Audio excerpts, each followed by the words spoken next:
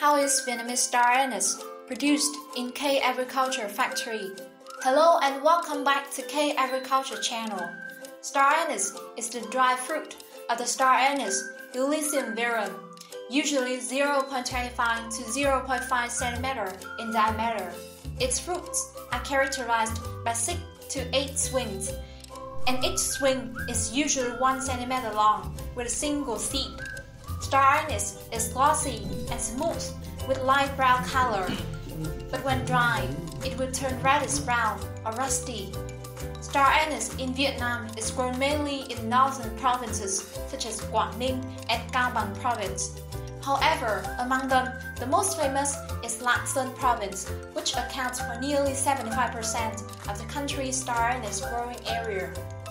In this video, we will introduce the production of star anise in K Agriculture Factory.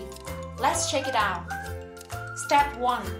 After selecting the most beautiful star anise and preliminarily washing, star anise is naturally dried in the sun to reach the standard moisture of 11 to 14 percent.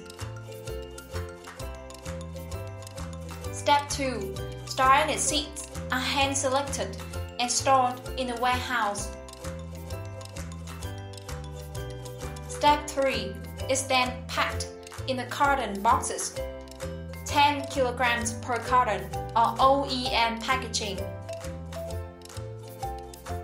Step 4 The most quality star anise are ready to load to container 20 feet 7 tons, 40 feet 15 tons. That's how K Agriculture produces Vietnamese star anise for exporting. If you're interested in importing Vietnamese star anise, please contact K Agriculture Factory. We are a top anise supplier from Vietnam with nearly 20 years of experience in producing and exporting agricultural products. Our company is recognized and supported by the Vietnam Ministry of Trade and Industry. If you like the video, please like, share, and don't forget to subscribe to our channel.